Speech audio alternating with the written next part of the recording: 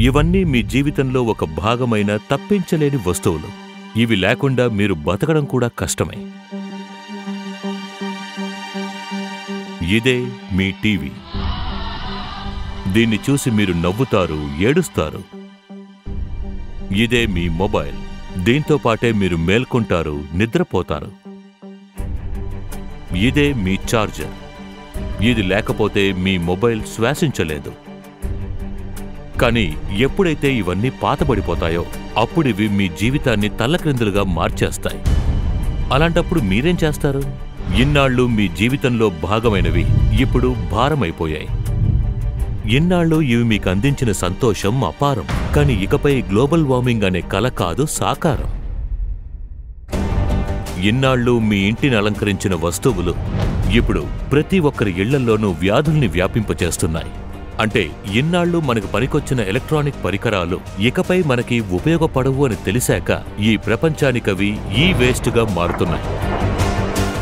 ఈ వేస్ట్ ఒక సాధారణ వేస్ట్ కాదు.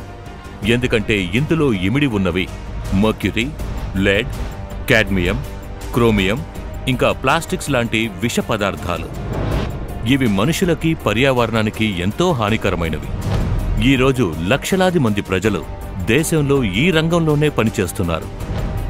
నియమాలకు అతీతమైన ఈ రంగంలో దాని అసలైన ఆపదను గ్రహించకుండా విషతత్వం ఉన్న రసాయన మిశ్రమాన్ని చెత్తలోంచి వాడుతున్నారు.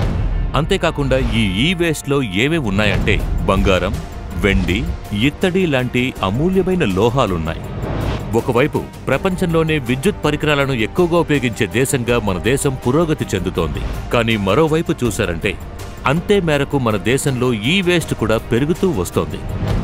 అదేంటంటే ఒకప్పుడు మనం ఒక మంచి పెన్నుంటే స్టేటస్గా ఫీల్ అయ్యేవాళ్ళం. ఒక మంచి వాచ్ ఉన్నా స్టేటస్గా ఫీల్ అయ్యేవాళ్ళం. ఇప్పుడు ఒక మంచి ఫోన్ ఉంటే స్టేటస్. ఈ వేస్ట్ ఈ విషయంలో మనకి సరైన అవగాహన లేదు. ఇప్పుడు మన దేశంలో ఎక్కడ చూసినా పరిసరాల కాలుష్యం. ఎందుకంటే పెద్ద పెద్ద ఫ్యాక్టరీలు వచ్చేశాయి. దానివల్ల నష్టమేంటో మనం తెలుసుకోవడం లేదు. కాబట్టి ఈ ఈ వేస్ట్ విషయంలో ఒక విజన్ ఏర్పరచాలి. ఆన్లైన్లో చూపించాలి అవగాహన క్యాంపెయిన్లు ఏర్పాటు చేయాలి. ఈ వేస్ట్కి ఒక పరిష్కారం కనుగొనాలి. అంటే ప్రభుత్వంతో పాటు కలిసి ఏదైనా ప్రాజెక్ట్ చేసి ఈ వేస్ట్కి సంబంధించినంతవరకు మనం ఒక పరిష్కారాన్ని కనిపెట్టి తీరాలి. అందువల్లే ఈ రోజు మన భారతదేశ ప్రధానమంత్రి స్వచ్ఛ భారతాన్ని సృష్టించడానికి ఓ పెద్ద అడుగు వేశారు. అందరూ రండి ఓ ప్రమాణం చేద్దాం. ఇకపై మనం మన ఈ వేస్ట్ని ఎక్కడా విసిరి పారేయము అని. అంటే దాన్ని కేవలం సైంటిఫిక్ డిస్పోజల్ మాత్రమే చేయాలి. అప్పుడే ఈ వేస్ట్ని మనం రెడ్యూస్ రీయూస్ రీసైకిల్ చేయగలం.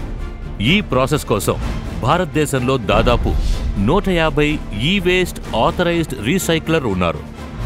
దీని గురించి మీరు మరిన్ని వివరాలను తెలుసుకోవాలనుకుంటే దగ్గరున్న కామన్ సర్వీస్ సెంటర్స్ అంటే సిఎస్సిని సంప్రదించవచ్చు మీరు చేయాల్సిందల్లా మీ ఈ వేస్ట్ అన్నిటినీ పోగు చేసి దగ్గరలో ఉన్న ఈ వేస్ట్ కలెక్షన్ సెంటర్కి తీసుకెళ్ళి అప్పగించండి.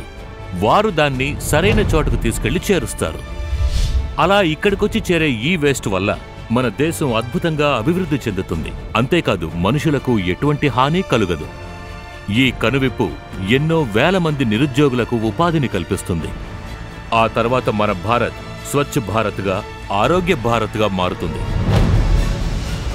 స్వచ్ఛ డిజిటల్ భారత్. డిజిటల్ స్వచ్ఛత వైపు ఒక పెద్ద అడుగు వేద్దాం.